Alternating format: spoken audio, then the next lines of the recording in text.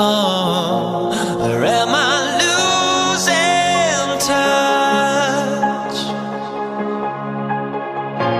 Too many games, now all our chips are lost. Uh, luck was not.